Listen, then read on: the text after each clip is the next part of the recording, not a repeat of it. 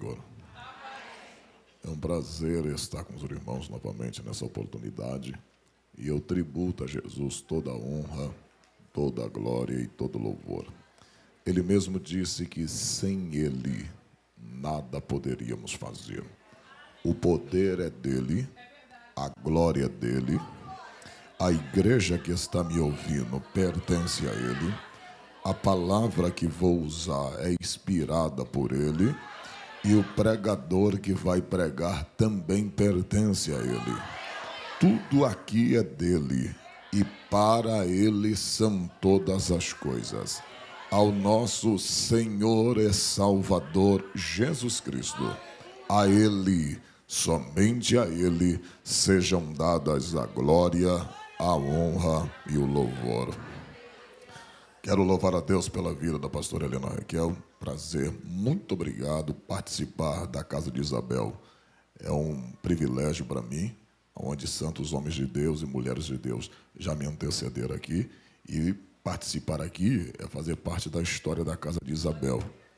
Quando for contado lá na frente e quando entrar nos anais da história, como já está acontecendo, meu nome vai ser citado também. Muito obrigado, pastora por me convidar. É uma honra. Pastor Eliomar Dionel, Dionil, Dionel. Isso. Deus seja louvado, meu amigo. Obrigado por tudo. É uma honra estar aqui e estar com esse casal de Deus. A gente não tem muito contato devido à correria, mas são meus amigos, estão guardados dentro do meu coração. Aos meus amigos, nosso pastor lá de São Gonçalo, né? Benção, Deus seja louvado pela sua vida. Prazer em revê-lo cantora Lucinha, Deus seja louvado, as mulheres de Deus que aqui estão, e está comigo a minha esposa, mulher mais linda aqui nesta manhã. É, tá aí ela, tá a Summer, Summer tá, tá grávida agora. É, glória a Deus. E eu que fui o cupido, né? É casado com o primo da minha esposa. E Está com ela a Janaína, nossa amiga também, Davi está aí. Está a Janaína, está minha filha Tiffany, a minha modelo. Está aí meu amigo pastor presidente, pastor Gilmar Santana, uma igreja abençoada ali em São João de Meriti. Deus seja louvado. E também meu filho, que eu chamo ele de filho, ele me chama de pai, Alif Victor. Está aqui também. Deus seja louvado. Deus abençoe a todos, meu amigo. Deus abençoe. Estou um pouco cansado, irmão. Cheguei agora de manhã, de viagem, ainda não dormi. E sair daqui eu já vou ter que passar em casa pegar a mala. E o meu voo é às três horas da tarde ali para a Vitória da Conquista. Mas é assim. A obra continua. Enquanto nós estivermos aqui, vamos fazendo a obra do Senhor nosso Deus. Abra sua Bíblia no Evangelho de Jesus, segundo escreveu João.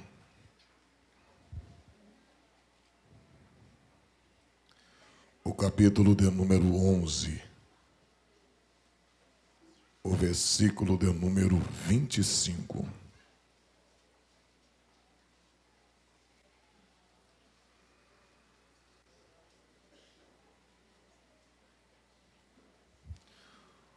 Amigo Helbotes, Deus seja louvado pela sua vida.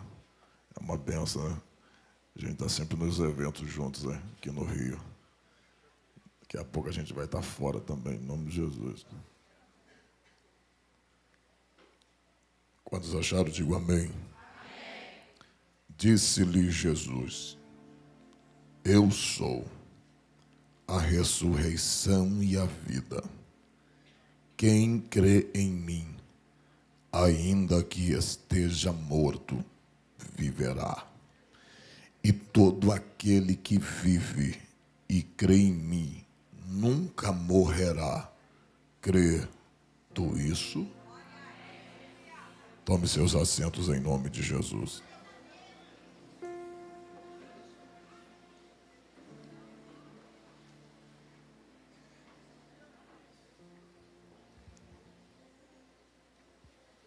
Meus irmãos, esta é a família pelo qual Jesus amava. Esta era a família pela qual Jesus frequentava a casa desta família. E a Bíblia diz que Jesus era amigo dos membros desta família e esta família também era amiga de Jesus. E a Bíblia diz que num dado momento o amigo desta família está enfermo e é Lázaro. Lázaro agora está enfermo. E quando Marta e Maria percebe que a enfermidade está se agravando, ela não vai perder tempo. Ela vai enviar mensageiros até onde Jesus está. E a mensagem que chega até Jesus é esta: Senhor, aquele amigo que tu amas está enfermo. Observe que as irmãs não confundem as coisas. Jesus é amigo da família, mas mesmo Jesus sendo amigo da família, ela não manda mensagem dizendo assim: amigo, vai até a minha casa, porque o teu amigo que tu amas está enfermo. Ela pronuncia desta forma: Senhor, o amigo que tu amas está enfermo. Sabe o que ela está dizendo? Ele é meu amigo, mas antes de qualquer coisa, ele é o meu Senhor. Tem gente que bate no peito e diz assim: Eu sou salva. Cristo é o meu Salvador. Mas como é que um salvo pode ser salvo se faz o que quer? Salvo só pode ser salvo quando ele tem Jesus como Senhor e Salvador da sua vida. Todo aquele que tinha um Senhor na Bíblia, ele era escravo. E escravo não tinha vontade. Escravo ficava subalterno à vontade do seu Senhor na sua vida. Por isso que Jesus disse: Porque vocês me dizem, Senhor, Senhor, se não faz o que eu mando. Então, todo aquele que tem Cristo como Senhor tem que ter de fato a reverência, o temor pelo seu Senhor. Sabe por quê? Tem muitos pastores que não dão muita intimidade para a ovelha Existem pastores que querem ser amigos da ovelha, mas tem ovelhas que confundem a amizade com a liberdade. Existem pastores que querem ser amigo da ovelha se o nome do pastor é Marcelo, quer chamar de Marcelinho.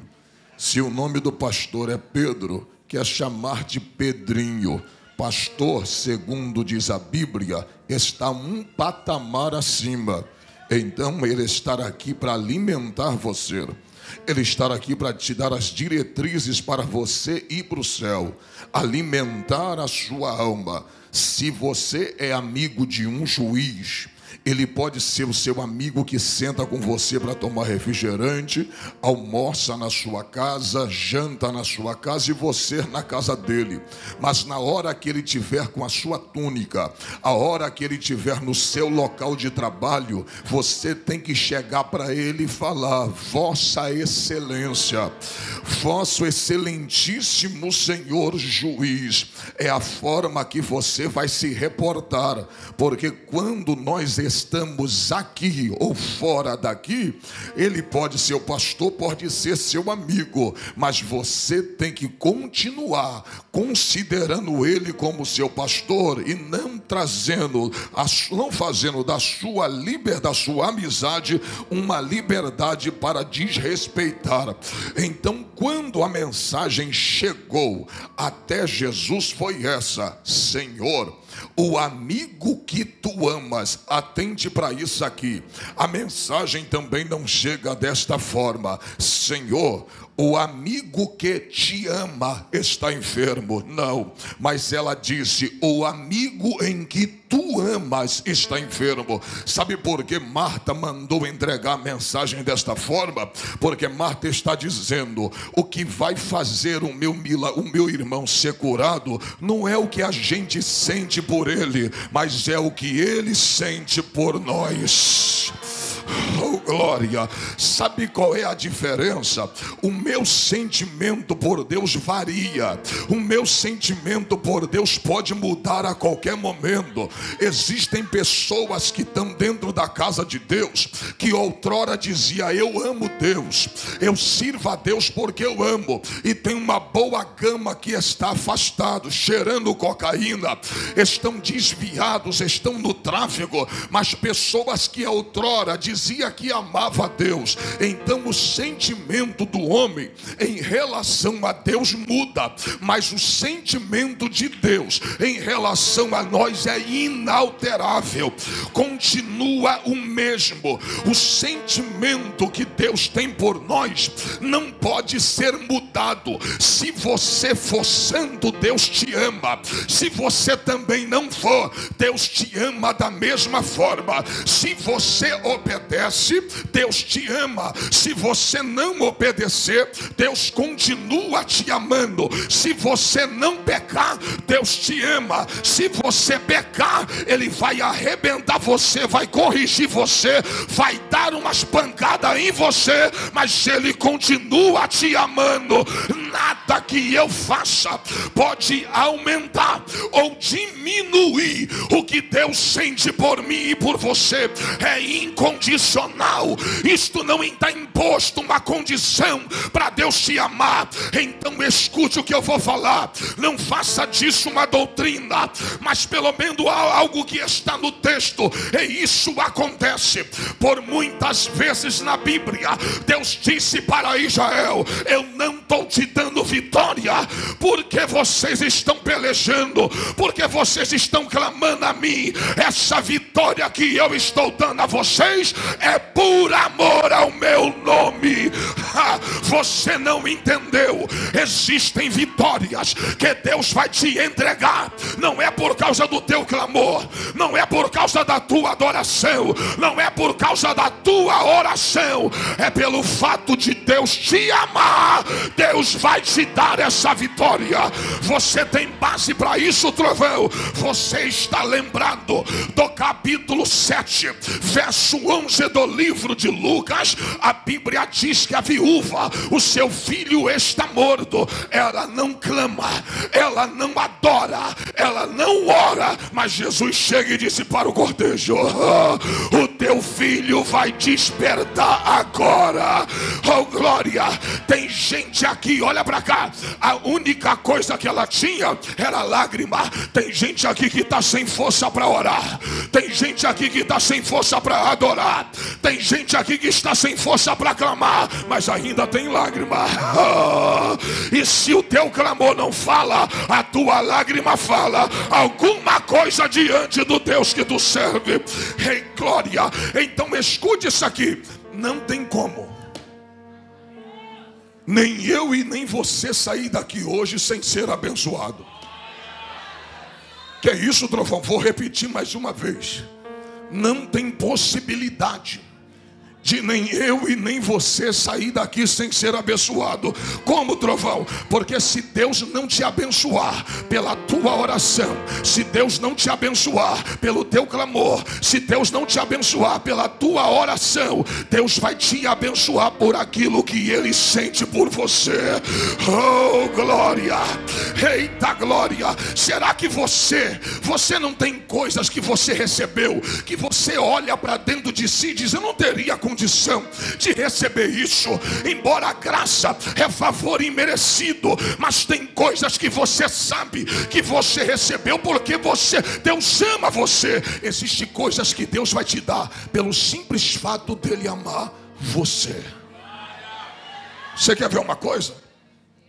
Ontem eu estava ali no interior de São Paulo, em São Sebastião do Paraíso. Soltei em Franca e fui até Minas, uma hora e meia. Eu estou passando na loja assim. Aí eu vi um sapato. Falei, minha esposa gosta. Falei, eu vou comprar. Comprei esse sapato. Cheguei, dei um beijo nela, daqui a pouco abri a bolsa e falei, aqui, ela, que é isso? Eu falei, é um sapato. Ela me beijou, nossa, você acertou, você acertou, que bom, que lindo, não sei o quê. Você sabe por que eu dei a ela? Não foi porque ela me pediu, é porque eu a amo. Oh, glória! Oh, glória! Então já dá uma olhada para o teu irmão fala assim: a possibilidade de não ser abençoado nessa manhã é zero. Se não receber pelo clamor, se não receber pela adoração, se não receber pela oração, vai receber pelo que Deus, oh glória. Cadê você que vai abrir a boca? Profeta, vai abrir a boca para dar aquele glória que deixa Jesus satisfeito.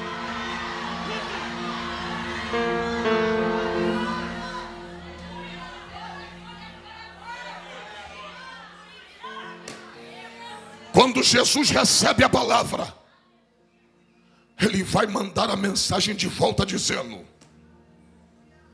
Diz para elas que esta enfermidade não é para a morte, mas é para que o nome do meu Pai seja glorificado através dela. Não, você não entendeu. Essa enfermidade não é para a morte. Olha para cá, irmãos. Se você for observar e fazer uma boa exegese do texto, a enfermidade matou Jesus, a enfermidade matou Lázaro. Então, como, é, como que Jesus disse? Essa enfermidade não é para a morte, se a enfermidade matou Lázaro. Jesus está dizendo: essa enfermidade vai matar Lázaro para o mundo, mas para mim ele continuará vivo. Agora olha para cá. Jesus está dizendo: avisa Marta, avisa a Maria que esse, essa enfermidade no final o meu nome vai ser glorificado. Então pegue isso aqui e leva para casa. Jesus está dizendo: não importa o nome que vai aparecer antes de eu chegar, não importa se vai aparecer o nome da morte, não importa se vai aparecer a enfermidade, o importante não será o começo, o importante vai ser eu chegar no final. É o meu nome que será glorificado nela.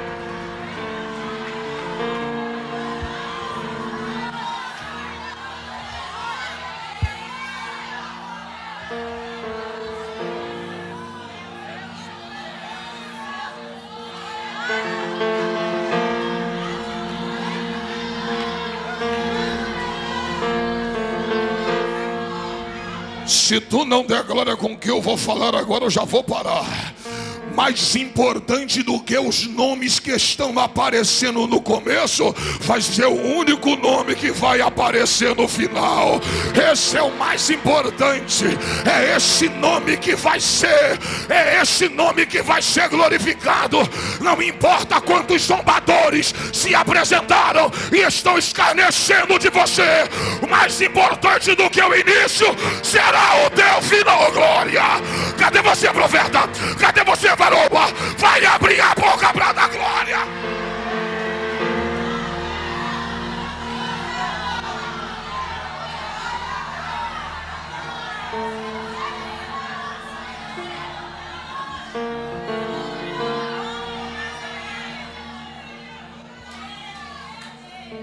Quando Jesus disse, essa enfermidade não é para a morte, mas a enfermidade mata, mata Lázaro.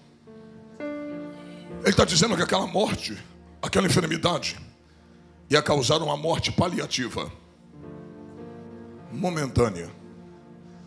Não era uma morte para sempre, era uma morte de dias. Agora pega isso aqui e leva para casa. Jesus ouviu o pedido, diga ouviu, mas ficou mais dois dias na cidade. Aprende isso aqui. Existem orações que Deus vai ouvir, Ele só não vai responder na hora. Mas pega isso aqui, avisa para ela que essa enfermidade não é para morte. Sabe o que ele está dizendo nas entrelinhas? Eu não vou agora, mas eu vou lá.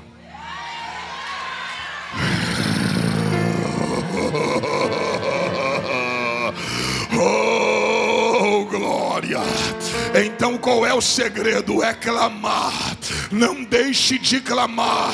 Continua clamando. Oh glória, ainda que ele, ainda que ele não responda, mas se ele já ouviu, e se ele já ouviu, o veredito já foi dado.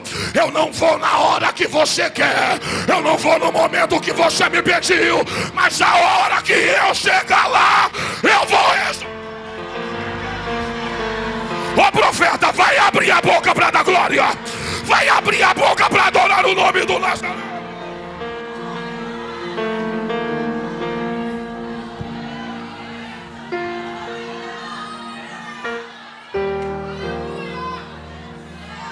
Não deixe de orar. Não deixe de clamar. Ele ouve, mas demora mais dois dias. Diga dois dias. Dois dias depois, Jesus vai a Betânia. Repita, dois dias depois. Isso aqui é profético. Hoje é quinta. Hoje é quinta.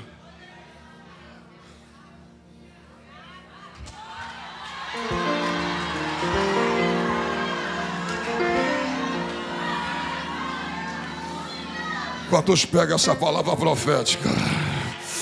É só mais dois dias. Aguenta firme que está faltando pouco, varoa. Ele já ouviu, Ele já ouviu a tua queixa, Ele já ouviu que o teu filho está no tráfico, Ele já ouviu que o teu marido foi embora, Ele já ouviu que você está enferma, Ele já ouviu essa luta que você está passando, Ele já ouviu e Ele já deu a ordem no final: é o meu nome que será glorificado.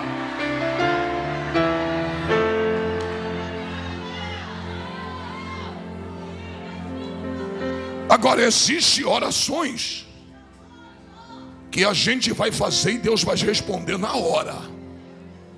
Onde está isso, trovão? Capítulo 18 de 1 de Reis. Elias falou: Vamos acabar com a palhaçada. Subamos ao Carmelo. E o Deus que responder por fogo, esse será Deus em Israel. Quando Elias falou isso, parece que eu estou vendo o diabo fazendo assim com a mão, ó. Parece que eu estou vendo uma olhadinha para Jeová dizendo: Tu perdeu, hein? Você tem como me provar o que você está falando? Tenho. Porque no capítulo 13 e 14 do Apocalipse, fala que o dragão vai dar poder ao falso profeta, e ele vai fazer cair fogo do céu. Sabe quem vai dar poder ao falso profeta? O diabo. E o diabo do Novo Testamento é diferente do Velho? O mesmo diabo que vai fazer cair fogo na grande tribulação, podia fazer cair no Carmelo. O diabo já estava satisfeito dizendo agora, porque Baal é uma representação de Lúcifer. Baal, Lúcifer está dentro do seu coração dizendo: é hoje, é hoje que o fogo vai descer. Parece que eu estou vendo o, Senhor dando uma trava no cão e dizendo: baixa a bola, porque no Carmelo só quem vai fazer cair fogo sou eu aqui hoje. Oh, glória! Você não entendeu na casa de Isabel não tem lugar para fogo estranho. Oh, oh. Varão, se tu não abrir a boca para Jesus, eu vou voar aqui hoje. Eu estou sentindo uma graça muito forte. Há uma presença poderosa do Espírito de Deus. Abre a boca para adorar, profeta. Abre a boca para adorar, varão.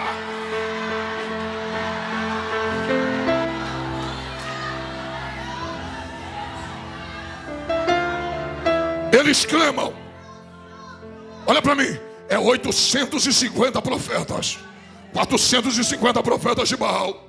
Com mais 400 profetas do Deus Acera, Deus de Etibaal, pai de Jezabel.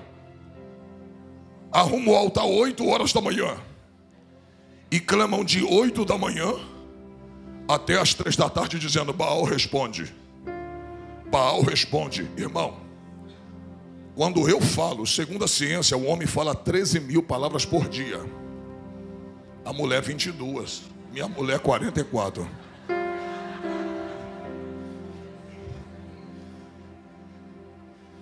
Olha para cá. Imagina clamando, clamar é tirar daqui de dentro que já não, se, não consegue mais se conter. Eles clamaram, agora olha para cá. 850 homens clamando durante sete horas, dá quase um milhão de palavras. Um milhão de palavras e sete horas de clamor, Baal não responde. Elias pega o altar e diz: Baal está viajando. Deve estar tá tirando um sono. Ajeitou o altar. Colocou o sacrifício. Colocou água ao redor do altar. Aquela água ali não estava chovendo em Israel. O céu estava fechado. E Elias vai colocar no altar o que estava faltando.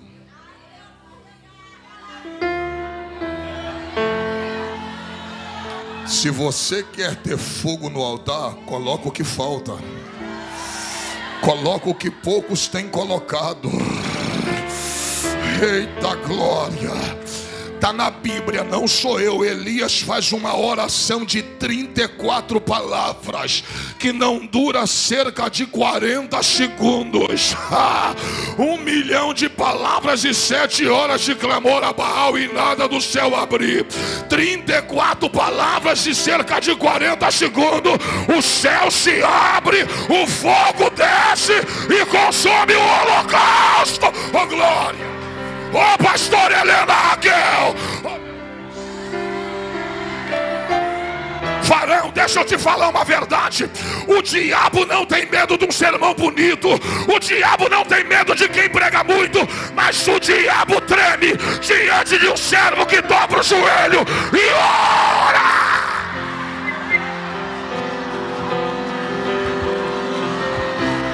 Cadê você que vai abrir a boca para adorar? Cadê você, profeta?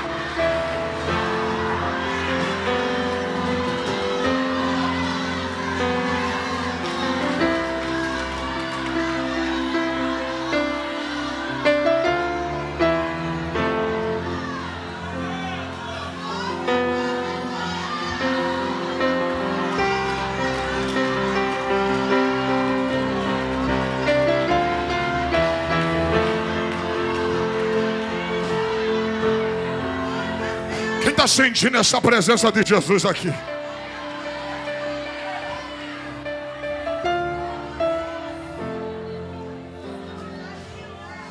D.L. Moody, em uma de suas biografias, ele disse: Prefiro ensinar um homem a orar do que dez a pregar.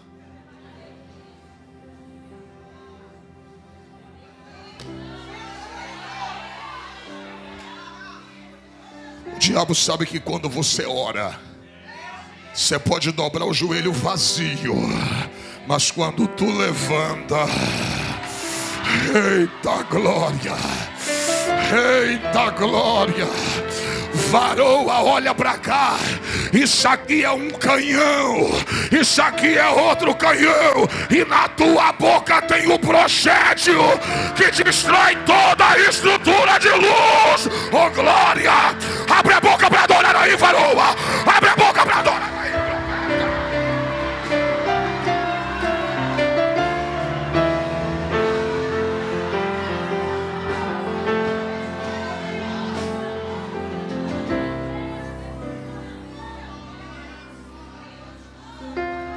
Essa luta não será vencida no bate-boca. Essa luta vai ser vencida entre quatro paredes com teu Deus. Deus está mandando dizer para alguém: ore. Se eu não responder na hora, mas eu vou te dar a garantia que eu vou atender o teu pedido. E tem oração que Deus vai responder de imediato. Eita glória! Eita glória! Essa enfermidade não é para a morte, mas é para glorificar o meu nome através dela. Não, você não entendeu. Jesus está mandando, eu disse, olha para cá. Quando Marta mandou chamar Jesus, ela está dizendo: chega antes que ele morra. Intervenha antes que morra. Talvez você está assim, Deus, entra logo, senão o divórcio vai sair. Entra logo, senão meu filho vai ser condenado. Entra logo, senão eu vou perder a casa. E tem oração que Deus vai ouvir, que ainda vai demorar um pouquinho. Mas Ele vai bradar no teu coração e diz: Eu vou agir. Olha para mim. Quando Ele disse: O meu nome será glorificado por ela. Ele está dizendo: não importa o nome que apareça, ainda que todos estejam falando, quando eu chegar, o único nome que será glorificado é o meu. Você não está entendendo, não? Para Marta mandar chamar Jesus, é sinal que os recursos de ir no médico haviam esgotado, os remédios haviam esgotados. Você não está entendendo? É Deus que está permitindo os recursos acabarem.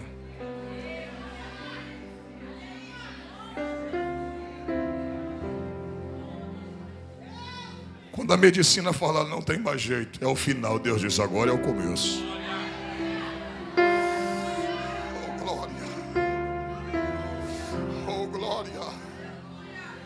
Olha para mim. Quando Jesus falou que ia voltar, olha para cá os discípulos de Jesus olharam para ele e disseram assim: Mestre, há pouco tempo tu saiu da Judéia e saiu correndo porque eles queriam te apedrejar e te matar, e tu vai voltar para lá. Olha para mim, o dia que eu li isso aqui, a lágrima veio no meu olho. Cidade de Betânia expulsou Jesus. Diga, expulsou. Tem famílias, olha para mim. Se uma igreja como Laodiceia, do pastor até o último membro, colocaram Jesus para fora, você acha que uma cidade sem ele também não, não expulsa? Existem cidades, existem países inteiros que Deus não encontra guarida em seus corações. Existem famílias que estão expulsando Deus, estão tão ocupadas com a idolatria, estão tão ocupadas com o pecado que Deus tenta bater na porta, mas não abre. A grande questão é: se a Judeia expulsou Jesus, por que ele iria voltar agora? Sabe o que Deus falou comigo? Sabe por que eu ia voltar para socorrer Marta e Maria? Não é por causa dos ímpios, foi por causa dos justos. Você não entendeu. Ele foi, mas ele ia voo. Jesus também foi. E ele não vai arrebatar a igreja por causa dos ímpios. Ele vai arrebatar a noiva por causa dos justos. Eu vou falar. Sabe o que que fez Jesus voltar para aquela cidade? Repita: duas justas. Diga, dois justos Olha para mim, tem gente aqui que está dizendo, mas é só eu dentro de casa. Minha mãe é feiticeira, meu pai é idólatra, são espírita, meu irmão não gosta que escuta som evangélico dentro de casa. É só eu dentro daquela família e dentro daquela casa. É isso aí que eu vim aqui profetizar. Pelo fato de ter você dentro daquela casa como servo de Deus, essa é a garantia que o diabo não reinará na tua família. Jesus está voltando. Jesus virá. E a hora que ele chegar, quando o valente guarda uma casa, ele guarda esta casa em segurança e tudo quanto tem dentro dela. Mas sobrevindo outro mais valente do que ele, amarra aquele valente e liberta aquela casa.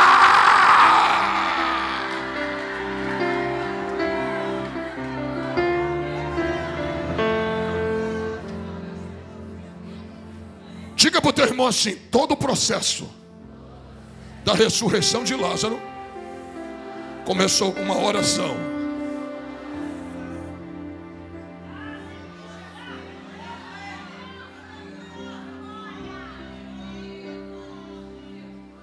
Todo o processo que Deus fez na minha vida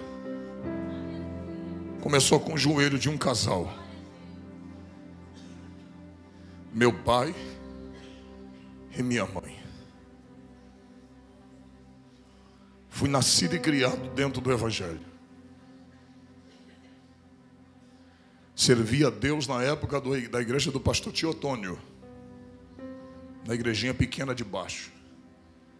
Depois se construiu a sede onde nós estamos até hoje, do qual meu pai e minha mãe servem a Deus no mesmo lugar há 50 anos, sem mudar de congregação. Olha para cá. Cresci escutando os homens louvando a orquestra. Só que sabe como é filho de crente. Vai passando os períodos. E eu digo que a minha geração foi a melhor geração que já existiu. Porque a minha geração, eu brinquei de bola, eu brinquei de ioiô, eu brinquei de peão, eu brinquei de búlica, eu brinquei de gude, pique lateiro, pique esconde, pique tá, pique alto, polícia e ladrão. Foi a melhor geração. A gente brincava. Carniça, quem lembra? A nossa geração foi a melhor que já existiu. Ali a gente viveu de verdade. Hoje tudo isso foi substituído pela tecnologia. As pessoas já não brincam, já não se comunicam mais, mas eu vivi aquele momento, nós vivemos esse momento. E só que a, a gente vai crescendo, vai saindo da adolescência.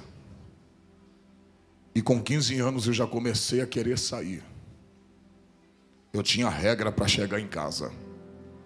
Eu tinha que sair sete e meia da noite e dez e meia da noite eu tinha que estar em casa. Se eu passasse dessa hora, o chicote comia. Apanhava de verdade. E eu me lembro que quando eu completei 16 anos, eu comecei, por curiosidade, a colocar o primeiro 15 anos, eu coloquei o primeiro copo de cerveja na boca. E aquela foi a minha perdição. Porque naquela época, quando você bebia uma cerveja, você se sentia mais adulto. E o que, que eu fazia? Não tinha dinheiro para comprar o cigarro. Eu pegava as guimbas de cigarro com os amigos e começava a fumar. E chegava em casa, antes de chegar em casa, usava house. Ou então pegava a parte de dente na rua mesmo, com a escova que já botava no bolso, e escovava o dente e chegava em casa como se nada tivesse acontecido. Um dia, eu estava já com 16 anos, e nós estávamos saindo naquele dia, eu perdi a cabeça e bebi demais. E quando eu estava bem tonto, bem ébrio, um rapaz chegou para mim que se dizia meu amigo e disse: Só tem um jeito de tu ficar bom. Eu falei: Como? Ele disse: Experimente isso aqui. Ele tirou um saco de cocaína do bolso eu falei, como se faz isso? Ele preparou aquela trilha para mim e eu cheirei aquilo. Quando eu cheirei, o efeito do, do álcool foi embora na hora, cortou. E olha como é que o diabo me pegou. Eu disse, então vou precisar pelo menos de um saquinho desse toda vez que eu beber. Porque toda vez que eu ficar bêbado, eu cheiro isso aqui e fico bom. E eu comecei desta forma a me aprofundar no vício da cocaína. Foi assim que o diabo foi me pegando. Dali, eu comecei a trabalhar e comecei a ganhar bem. E eu ganhava dinheiro toda semana. E 100 reais há 20 anos atrás era dinheiro. E pelo menos do salário que eu tinha, 100 reais eu pegava. E começava a já querer comprar sacos, eu comprava gramas de cocaína. comecei a arrumar amizade com os, os, os rapazes da boca de fumo. E ali eu comecei a usar muita cocaína. Passei a usar, a, a, a, a, usar cocaína e quando eu ficava bêbado, eu ia, cheirava e ficava bom. Só que o tempo foi passando. Com 17 anos eu já achava que eu era dono do meu nariz. E eu já estava extremamente afundado na cocaína. Daí, eu já não queria mais gastar dinheiro.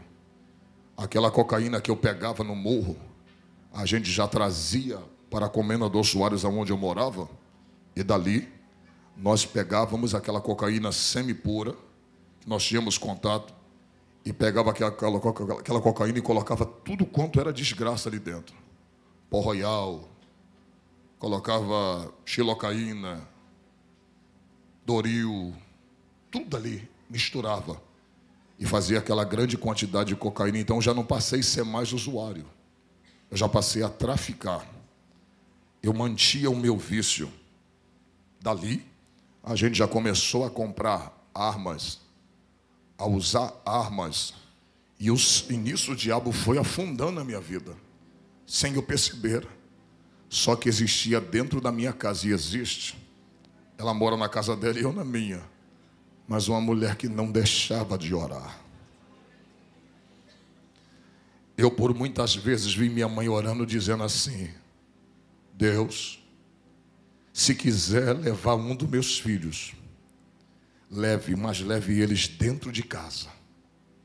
Não me dá o desgosto de ver nenhum dos meus filhos estirado na rua. Nenhum. E nessa minha ida de tráfico, algumas coisas eu tenho que eu não vou poder falar, que está sendo gravado. Mas nessa minha ida de tráfico, eu me lembro que eu tinha alugado uma casa para traficar. E naquela noite eu estava com aquele Magno 45, aquela 45 na minha cintura. E nós estávamos vendendo pó dentro daquele beco. Chegou um homem e antes daquele homem chegar, eu passei por ele dentro daquele beco, e aquele homem foi o homem que veio para me matar. E naquele momento eu cheguei ali, eu passei por ele naquele beco, ele me deu, a, ele me deu boa noite e eu dei boa noite para ele. E ele parece que não me reconheceu. Aí você fala assim, pastora, foi só uma coincidência. Não. É Deus cegando os olhos do teu adversário. Eu passei por ele. E quando eu saí para fazer uma outra situação, entregar uma carga, como a gente dizia, entregar uma quantidade de cocaína a um determinado lugar, os meninos que estavam lá disseram: Trovão, um homem veio te procurar. E ele não estava só. Até as pessoas que estavam do lado de fora, irmãos, não conseguiram me ver. Deus estava me escondendo no seu esconderijo. E dali, os irmãos já viu. Eu comecei a traficar demais, comecei a vender demais e eu fui me iludindo com o dinheiro que eu ganhava. Porque quem já viveu no tráfico sabe que o dinheiro entra muito fácil. E da maneira que entra, é da mesma maneira que sai. Dali, o filho de crente já começou a ir para o baile, já começou a brigar na rua, já começou a fazer bondes e arrastões. Já começamos a fazer arrastão na rua. Na época onde se Nike naquela época era, era muita era muita ostentação possuir um Nike naquela época. E olha como o diabo colocou o desejo de fazer a mesma coisa. Foi quando roubaram o meu. Eu disse: já que roubaram o meu, todos vão perder. E a gente tomava tudo que tinha. Tudo que tinha nós tomávamos. E eu me lembro que um belo dia um amigo meu chegou para mim e disse assim: Júnior, vamos a, a queimados. Vamos ali ceifar uma vida. Naquele dia eu descobri que o diabo está por trás de tudo. Eu me lembro que quando eu fui, peguei, nós pegávamos um ônibus e eu estava com aquela 4-5 na cintura. Ele disse: Esse cara mexe com a minha mulher. E eu já mandei ele parar de mexer. E como ele não parou de mexer, hoje nós vamos ceifar a vida dele. E a gente usou muita cocaína. Interessante, né? De cara limpa ninguém consegue fazer nada. E eu me lembro que quando nós chegamos ali, entramos dentro daquele centro de macumba. Hoje eu entendo o que, que o diabo faz e como o diabo está por trás de ceifar uma vida. Quando nós chegamos naquele centro de macumba e queimados, a dona do centro de macumba, ninguém sabia que nós íamos ali, ninguém. A dona do centro de macumba chegou e disse assim: Vocês vieram matar o Marcos? Aí eu olhei para o Carlos. Ela falou assim: Não mata ele aqui dentro, não. Mata ele aqui fora, para não sujar o centro. Mas ninguém sabia. Ninguém sabia.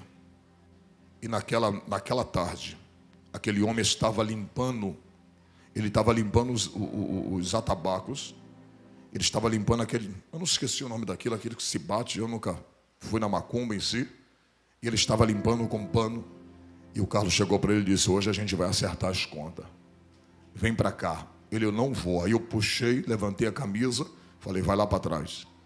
E quando ele ficou lá atrás do quintal, eu me lembro que o Marcos estava a mãe e o pai dele. E naquela, no... naquela tarde, o Marcos explicando para o pai e para a mãe dele, dizendo: Você vai morrer por isso, porque você é sem vergonha. Você está mexendo com a minha mulher. Rapaz, o cara é endemoniado, ele estava endemoniado. Ele disse assim: Por que você não veio sozinho? Que aí nós resolvemos tete a tete, por que você trouxe ele?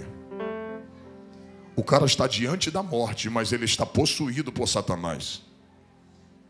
Irmãos, naquela hora, por incrível que pareça, quando nós puxamos aquela arma para atirar naquele menino, um senhor que era o pai dele, de 76 anos no máximo, aquele senhor me agarrou de uma forma que eu não soube entender de onde veio tanta força na vida daquele pai. Ele disse: Você não vai ceifar o meu filho. Você não vai matar a vida do meu filho. E ele segurou a mim e a mãe dele segurou o Carlos. E aquele moço correu por dentro daquele centro espírita. Isso foi apenas 4 a 5 segundos. Quando nós procuramos aquele moço dentro do centro espírita, a gente não achou mais ele. Sabia que Deus estava tentando falar para mim? Eu não quero que tu derrame sangue de ninguém. Eu não quero que tu ceife a vida de ninguém. Eu não quero que tu derrame sangue de ninguém. Existem coisas que Deus não permitiu fazer contigo, e existem coisas que Deus também não vai permitir você fazer com os outros. ah, irmãos, naquele dia Deus foi começando a despertar, e eu comecei a ganhar fama. Eu já estava indo para Nova Holanda, já estava no meio dos grandes do tráfico de droga, vivendo entre eles, tendo moral com aqueles homens vivia no morro do Andaraí, ali na Saviana, aonde eu ia e buscava as drogas e trazia para a Baixada Fluminense.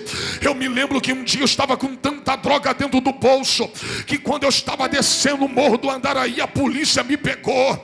E quando a polícia me pegou, eu falei assim, moço, eu sou viciado. E eu conversei com ele porque eu entendia que para ser malandro, eu não precisava falar gíria, eu nunca falei uma gíria, eu nunca disse qual é eu nunca disse compadre, eu nunca disse qual é, irmão, eu nunca usei isso, porque eu entendia que para ser malandro não precisava falar gíria. Aquele polícia me pegou e disse: Rapaz, o que é que você está fazendo nessa vida? Essa vida não é para você. Sai dessa vida, talvez o lá de cima está te dando uma oportunidade. Larga essa vida, eu vou prender a tua droga. E sabe o que ele disse para mim? Se eu te levar para a cadeia, tu assino 12 e tu vai puxar um bom tempo de cadeia, mas alguma coisa está me dizendo para mim ficar com a tua droga e deixar você embora. Era a oração da minha mãe dizendo: Cuida, meu filho, guarda do meu filho, livra a vida do meu filho, proteja a vida do meu filho.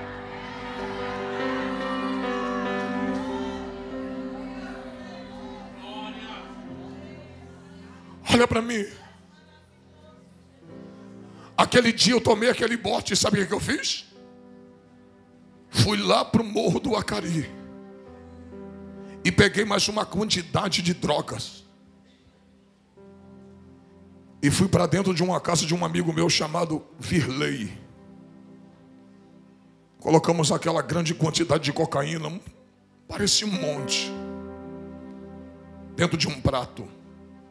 Comecei a cortar aquela cocaína na, na gilete, fazendo as trilhas. E nós começamos a cheirar, cheirar. Eu e ele, cheirar, cheirar. Até o ponto que naquela noite meu nariz começou a sangrar. E quando eu percebi que eu ia ter uma overdose de cocaína, eu nunca esqueci quem eu fui. Quando você se afasta, todo afastado um dia já experimentou Deus. E não existe ninguém que experimente Deus e esqueça dele. Eu estava naquela mesa com meu nariz sangrando, e quando eu vi que eu ia ter aquela overdose, eu comecei a cantar na frente daquele amigo meu que era ímpio como eu também era. Eu cantei desta forma. Eu sei que errei, mas peço outra vez uma chance. Eu quero voltar, prometo seguir como antes não dá para ficar distante assim, com essa angústia no olhar. Por isso preciso ao primeiro amor voltar. Eu quero voltar ao primeiro amor. Preciso voltar ao primeiro amor.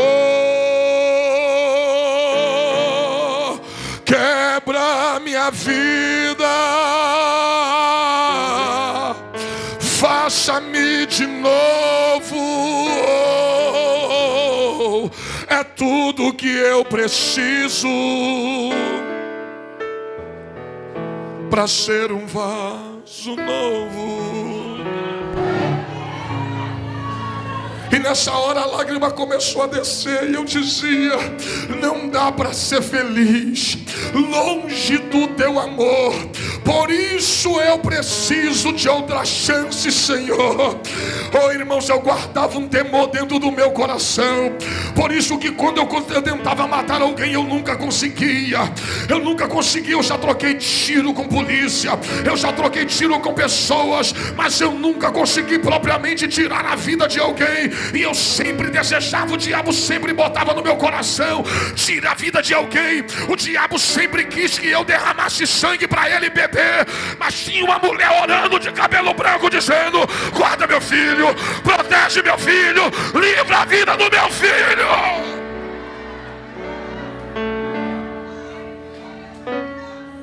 Um dia se reuniu eu e mais três. E disse: Hoje nós vamos tomar tudo e quem revidar a gente vai matar. Estávamos decididos a fazer uma arrastão e o primeiro que se levantasse, o primeiro que revidasse, nós íamos matar. Estávamos com toca. Já predisposto a fazer tudo aquilo. Tudo premeditado. E quando nós saímos para fazer um assalto, naquela noite eu não vi, mas quando a pessoa viu que haviam três elementos andando pela rua, suspeito, aquele policial apaisano serviu, seguiu a gente. E quando ele seguiu a gente, na hora que nós, eu puxei do revólver, eu estava com um Magno 357, 6 polegadas, parecia um coringa cromado quando eu puxei aquele revólver para fazermos o assalto. Eu só comecei a ver do outro lado da rua fogo saindo do cano daquele revólver. O primeiro pegou na minha barriga. Aqui. Eu tomei o primeiro tiro aqui. E o amigo que estava comigo, hoje é presbítero da Assembleia de Deus, aonde eu congrego. Ele tomou o primeiro tiro na perna e ele caiu. E por incrível que pareça, Deus não queria o deixar matar ninguém. Eu frente a frente com aquele polícia, ele do outro lado, eu apontei o revólver, irmãos. Quem tem revólver sabe, o Magno não falha. Aquele revólver não tem como picotar uma bala. Eu apontei para a direção dele para dar no peito dele. Quando eu apontei e apertei o gatilho, o revólver falhou. Deus segurou aquela bala. E quando eu fui dar uma, quando eu dei o primeiro falhou e eu tomei o outro, que eu virei, quando eu vi que ele ia atirar, eu corri e bateu aqui na minha mão. Tem uma, onde a minha mão está furada, bateu aqui, vazou aqui. E quando eu dei o segundo, aí pegou. Mas eu já dei já com as costas, virando o pescoço e atirando para ele não atirar mais em mim. Naquele dia ali, eu tomei dois tiros. O Henrique tomou um na perna. E o cara chegou na, na, na, na cabeça dele e disse: Você vai morrer. E apareceu gente não sei de onde, saiu, a rua estava semi-deserta. Apareceu pessoas não sei de onde gritou: Não faça isso com esse jovem.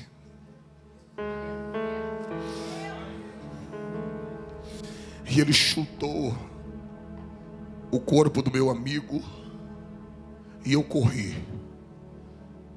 Peguei um ônibus, nós não estávamos de carro, pegamos um ônibus. Rendi aquele ônibus, puxei aquela arma imensa. Rendi o motorista e disse: Me leva até a minha casa. Me leva até a Comendador Soares. Nós tomamos tiro em Nova Iguaçu, lá na Dalvomor, na troca de tiro com policiais. Eu disse: Me leva até minha casa, não para para ninguém. Quando ele me parou, deixou num ponto próximo da minha casa, eu desci, joguei a arma no, no, no, na linha do trem. E quando eu joguei a arma na linha do trem, eu vim para casa. Eu estava com a camisa branca, eu estava com a calça branca e uma camisa verde, um brusão verde por cima, que escondia aquela arma. Quando eu cheguei em casa, que eu tirei a minha camisa, gritei minha mãe, falei: Mãe. Minha mãe olhou para mim e disse: Meu filho, o que, que foi isso? Porque você está tão cheio de sangue. E eu disse: Mãe, teu filho tomou tiro. E minha mãe olhou como se fosse hoje, 20 anos atrás. Ela olhou e disse: Meu filho, Deus preparou o coração da tua mãe para esse dia. E ela me lembrou de uma palavra que ela tinha me dito, eu tinha esquecido. Ela falou: Você lembra 15 dias antes de você sair daqui? Eu já sabia para onde você ia. Eu estava indo para o morro, toda sexta-feira eu ia para o morro. E ela disse assim: Eu estava saindo sete horas da noite para ir para a favela. Ela me parou na porta de casa e disse assim: Meu filho, nesta madrugada sua mãe estava orando por você. E Deus se apresentou a mim e disse: Mulher, não peça mais misericórdia pela vida daquele homem, porque a partir de hoje eu, o Senhor, vou tratar com ele pessoalmente. A minha mãe me lembrou disso. E esse tratar de Deus pessoalmente foi os tiros que eu tomei. A minha mãe olhou para mim, eu baleado, ela disse: A tua mãe tem problema de coração, mas Deus preparou o coração da tua mãe para esse dia. Irmãos, quando a minha mãe falou isso, ela falou assim: Tira a camisa. Tira a camisa. Quando eu tirei a camisa, eu tinha tomado, eu tinha tomado tiro apenas no couro, no, na carne. Eu não tomei tiro no sangue, no, no, nos ossos. Por isso eu não senti dor. Eu estava com sangue quente, então não sentia dor. Eu sentia que a minha mão estava atrofiada, porque mexeu nos nervos e minha mão começou a ficar desta forma. Então, com essa mão já tinha perdido o movimento. Quando eu levantei a camisa, eu estava com um pequeno buraco desse tamanho aqui, na frente. Isso aqui meu estava estourado estava aquele monte de carne esponjosa preta queimada pela pólvora, e o sangue descia. E quando eu vi o sangue descendo, eu disse: Eu vou morrer, porque vai vazar muito sangue, eu vou morrer por falta de sangue. Minha mãe, desta forma, desta forma que eu estou te falando, ela olhou para o meu pai e disse assim: Meu amor, vai lá no guarda-roupa e pega uma camisa para o Júnior. Meu pai trouxe a camisa. Daqui a pouco ela disse: Veste ele. Aí ela disse: Agora desça a escada de nossa casa e leva nosso filho para o hospital. Irmãos, quando eu estava descendo a escada de nossa casa, Eu tinha olhado para minha mãe com o último olhar de despedida, porque eu sabia que eu não veria mais minha mãe, eu ia morrer naquela noite. E quando eu estou descendo a escada, quando eu cheguei no quarto degrau da escada da minha casa, minha mãe olhou e disse: Olha para mim, meu filho. Aquela foi a palavra de vida que eu precisava. Ela disse: Olha para sua mãe. Da mesma forma que você está saindo daqui com vida a sua mãe vai entrar dentro daquele quarto agora e vai fechar a porta. Da mesma forma que você está saindo com vida, você vai voltar daquele hospital. E eu balançei a cabeça e ela disse: Sabe por que você vai voltar? Porque você é promessa de Deus para minha vida. E você vai voltar daquele hospital com vida.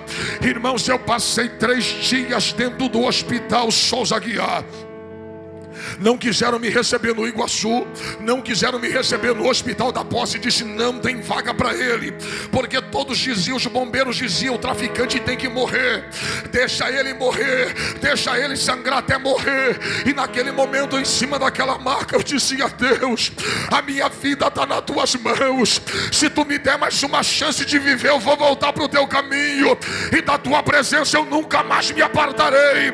Naquele dia, Deus parece que colocou o anjo do meu lado, e parece que Jesus estava injetando o sangue dele nas minhas veias. Eu sangrei de nove da manhã, eu sangrei de nove da noite até as três da tarde. Era para me ter falecido na mesa de cirurgia, mas naquele dia, os médicos diziam, os, o, o, o, os bombeiros diziam: deixa ele morrer. Os policiais diziam: deixa ele morrer. Mas já tinha anjos ali. E do nada apareceu uma médica no hospital do Iguaçu e disse: Eu liguei para o Souza Guiar. E lá tem uma vaga para atender esse jovem. Cheguei no Souza Guiar, ainda me deixaram sangrando, esperando no meio do corredor. De meia-noite até as três da tarde eu fiquei só com soro e perdendo sangue. Naquele dia o diabo queria levar minha vida. Mas você não entendeu ainda. Enquanto eu estava perdendo sangue, minha mãe estava clamando pela vida dentro daquele quarto. Havia uma batalha entre a vida e a morte. O diabo queria me ceifar, mas eu era uma promessa. Você não entendeu, eu sou uma promessa.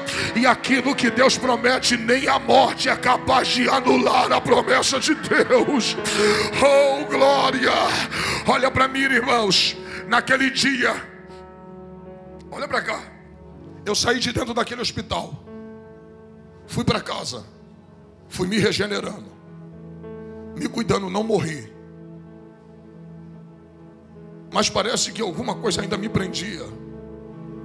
Eu larguei o tráfico, mas eu não larguei a cocaína.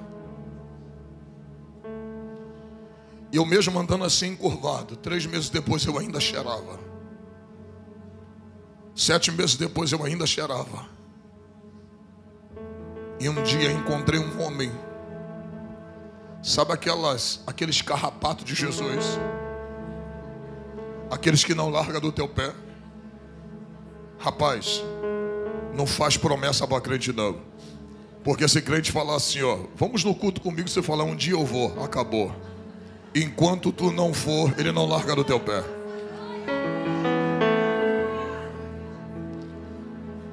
Era uma quinta-feira, olha para mim, quinta-feira. Eu estava com o bolso cheio de cocaína, mas eu não havia cheirado. O Maxi, que hoje é pastor, ele disse assim: Júnior, eu estou vendo que você está ébrio, você está bom, você não está ébrio, você não está drogado. Paga aquela dívida hoje. Eu falei: Ô oh, Max, hoje não. Ele, Júnior, se você for à igreja comigo hoje, depois da minha salvação e depois do meu casamento será o dia mais feliz da minha vida. Aí eu pensei assim, eu falei, esse cara é chato. Então já que eu não cheirei, eu vou para a igreja, depois da igreja eu cheiro. Mas eu vou lá e pago a dívida e morre. Irmãos, fui em casa. Quem é das antigas que lembra do, do, das marcas?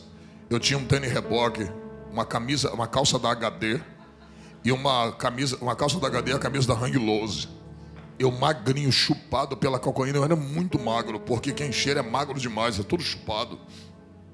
Vai eu, a igreja. Sete horas cheguei, sete e pouca cheguei na igreja. Irmãos, a congregação do campo do pastor Geraldo Vicente, lá em Comendador Soares, estava lotado na rua da Sobel, da antiga Sobel, lotada como está aqui. Tinha-se tanto de gente aqui na igreja. O púlpito cheio. Quando deu oito horas, ele me apresentou. Ele disse: Está conosco aí o Júnior, convite do Max. Está aí. Irmãos, quando deu 8 e 25 Jonas ficou de pé. E disse assim: Júnior, fica de pé. Eu disse: Eu, ele é. Ele falou assim para mim: Você crê que Deus fala com um homem? Eu falei: Creio, porque eu, minha família é evangélica, eu nasci no berço evangélico, eu sabia que Deus falava. Ele: Você crê que Deus falou comigo? Disse: Creio. O Deus que eu sirvo veio no meu ouvido aqui agora e disse assim para mim: dá oportunidade para esse moço. Vim aqui na frente cantar um hino para tirar dízimos e oferta para minha casa.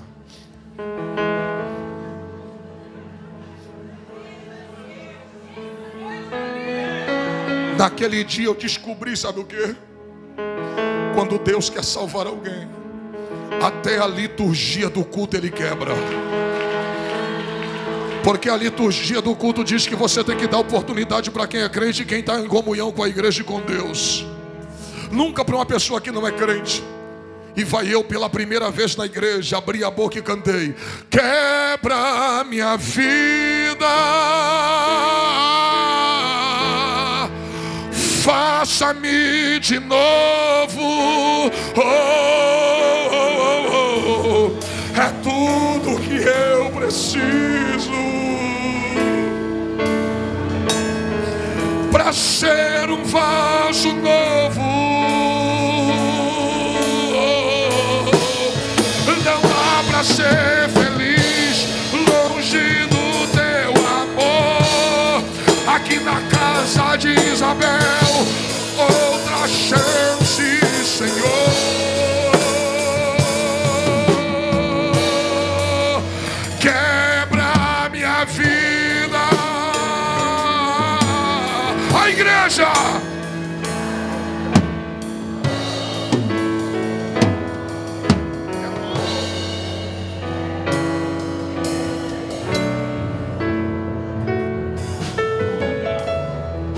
Pensando que eu aceitei Jesus? Não cheirei naquela noite. Peguei a cocaína na quinta, na sexta, cheirei. Cheirei sábado, cheirei domingo, cheirei segunda. Quando foi na segunda-feira, eu falei assim: vou escutar a melodia. Se eu gostar de um hino, eu vou comprar uma fita cassete, não era nem CD, era cassete. Falei, vou escutar um playback, vou comprar um playback e vou lá naquela igreja de novo. Olha a estratégia de Deus, irmão. O Max já não me convidou, eu já estava indo sozinho. Eu falei, eu vou lá, se ele me der oportunidade, eu vou cantar de novo. Quando deu oito e meia, ele disse, Júnior, Deus mandou você cantar de novo. Cheirei sexta, sábado, domingo, segunda. Falei, vou escutar a melodia de novo. Vou ensaiar o hino, vou gostar e vou levá-la de novo. Se esse pastor deixar eu cantar, eu vou cantar de novo. Comprei outro playback. Terceira quinta-feira. Quem é que canta? Eu. Rapaz, olha pra cá.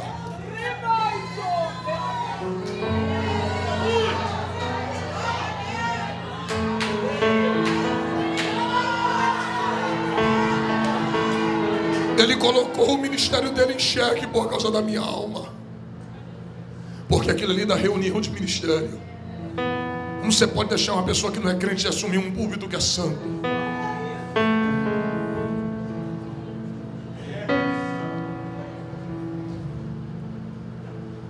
Colocou a minha alma acima de tudo. Na quarta, quinta-feira eu falei assim: eu vou lá. Escutei a melodia de novo, comprei um playback e disse: Vou cantar. Se ele deixar cantar, eu canto. Cantei pela quarta vez na igreja sem ser crente. Quando foi na quinta vez, levei o playback. Eu não cantei. Mas quem pregou? Pastor Jonas Baraquiso. Está na Assembleia de Deus do pastor João Nunes até hoje. Ele era do campo do pastor Geraldo e hoje está no pastor João Nunes. Ele pregou. Ele pregou sobre a crucificação de Cristo. Com 20 minutos de mensagem tinha tanta lágrima no chão que eu não sabia se era um copo que tinha derramado ou eram minhas lágrimas mesmo. E quando eu olhei para o meu lado, sabe quem estava do meu lado? Max, com, uma, com a mão em cima do meu ombro chorando.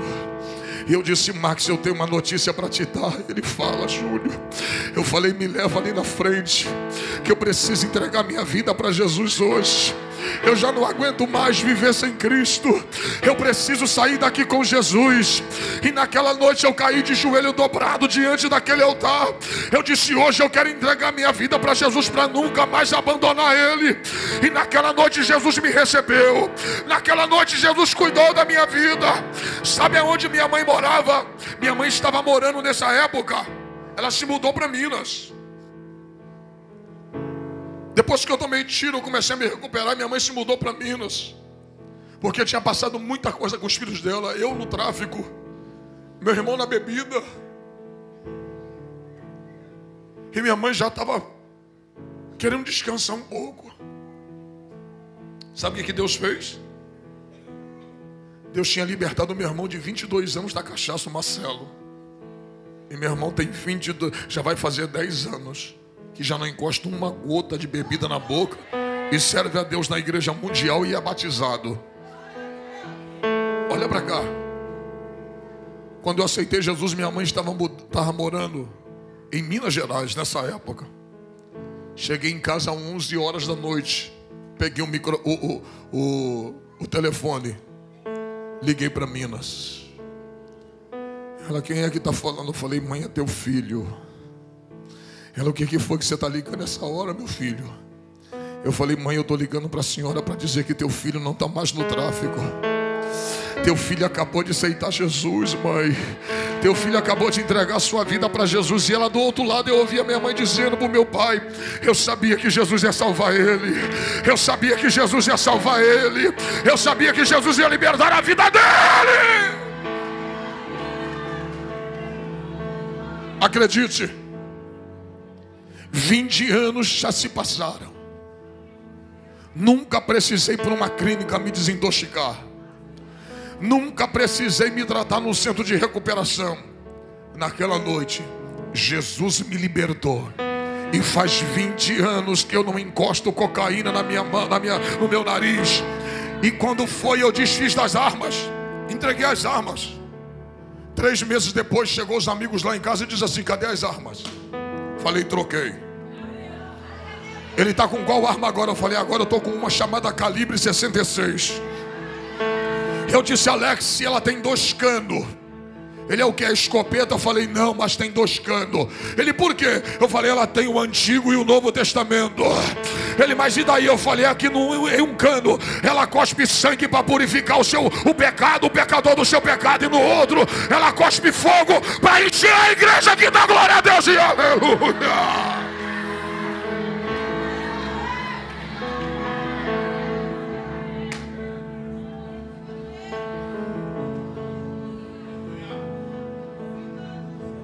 Minha esposa está aqui, não me deixa mentir. Encontrei o Jonas Baraquizo trabalhando numa loja aqui, em Nova Iguaçu. Dei um abraço nele. Se alegrei com ele. Dois dias depois eu voltei em Nova Iguaçu com um paco meu de DVD. Falei aqui. Toma todos esses DVD. Esse aqui é os DVD do teu filho na fé. Isso aqui é os DVD que Deus deu para o teu filho pregar. Eu sou teu filho na fé. Olha o que Deus está fazendo na vida do teu filho. Abracei ele. Eu disse muito obrigado por ter acreditado na minha vida. Oh, glória. E sabe o que, que ele falou? Ele, outro dia, eu cheguei, busquei ele dentro da casa dele. E ele disse: Deixa eu te ouvir pregar. Um dia eu ouvi ele pregar. E teve uma hora que ele sentou e ouviu o filho dele falar de Jesus. Eita glória. Olha para o teu irmão pega na mão dela e diga: Não deixa de orar. Deus está ouvindo a tua oração, mas uma hora Ele vai respondê-la. E a hora que Ele responder, no final, é o nome do Senhor que será glorificado.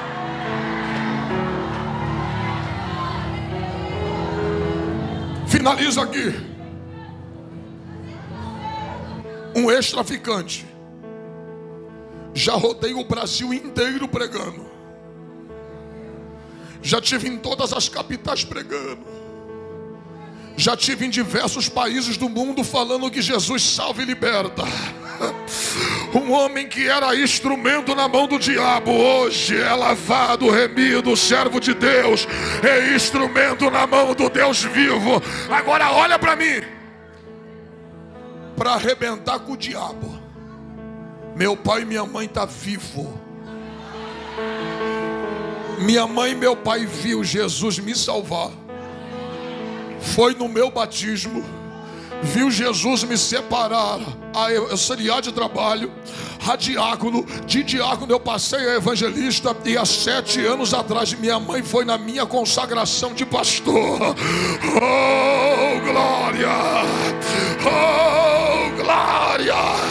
Você não entendeu as promessas que Deus te fez, você vai viver para que todas elas se cumpram diante dos teus olhos.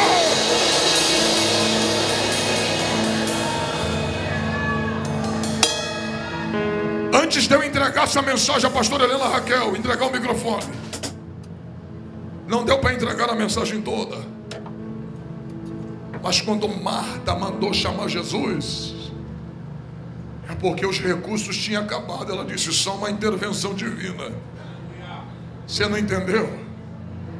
Deus me trouxe aqui como um homem de Deus essa manhã para dizer para ti: é propósito meu que os recursos acabem. Porque quando acabar o teu,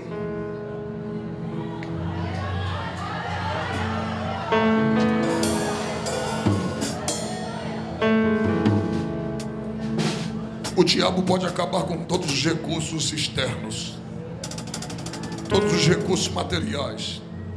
Mas ainda tem uma coisa que vai trazer Deus para esse negócio: tua fé e o teu clamor.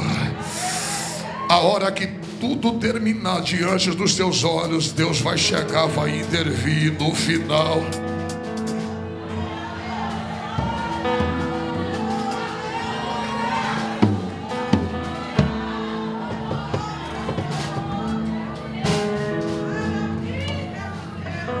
Eu vejo testemunhos dessa forma aqui.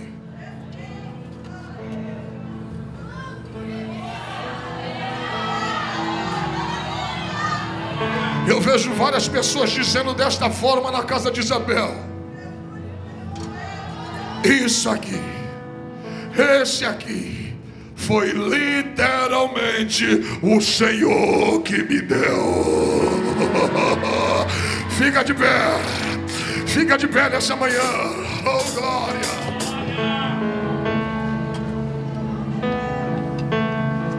Tem alguém nessa manhã que quer viver. Ó. Oh. Sabe por que Jesus ressuscitou Lázaro? Olha para mim. Ele disse: Eu sou a ressurreição e a. E quem crê em mim, ainda que esteja morto, viver. E aquele que crê em mim jamais morrerá, mas viverá para. Sabe o que Jesus está dizendo? Fica tranquilo, Marco. Ele morreu para o mundo mas está vivo diante de mim. Que é o conselho de um pregador. Você só consegue viver diante de Deus quando você morre para o mundo. Sabe por que Jesus ressuscitou Lázaro? Sabe por que ele pediu para tirar a pedra? Está dizendo: tira a pedra. Porque o que está morto aí dentro morreu, mas não deveria morrer. Por isso eu vou trazer para fora. Tem coisas dentro de você que tem uma pedra em cima. Coisas que você deixou morrer, mas que não deveria estar morta. Tem gente que só porque foi traído, botou no coração dizendo: nunca mais eu confio em ninguém. Você sepultou a confiança e colocou uma pedra em cima dela. Jesus está dizendo: tira essa pedra. eu vou trazer para fora o que está morto e que não deveria estar aí. Tem alguém aqui nesta manhã que quer ressuscitar? Vem aqui agora. Jesus quer salvar sua vida aqui hoje na casa de Isabel. Aonde está a primeira pessoa que quer voltar para Jesus? Ou entregar sua vida para Cristo agora? Vem aqui, não importa quão enrolado você esteja, quão atado você esteja, Ele vai ressuscitar você e vai desatar sua vida aqui hoje. Cadê a primeira pessoa aqui nesta manhã? Tem alguém nesta tarde que vai entregar sua vida para Jesus? Sai do seu lugar. Santo Espírito, és bem-vindo aqui. Vem inundar, encher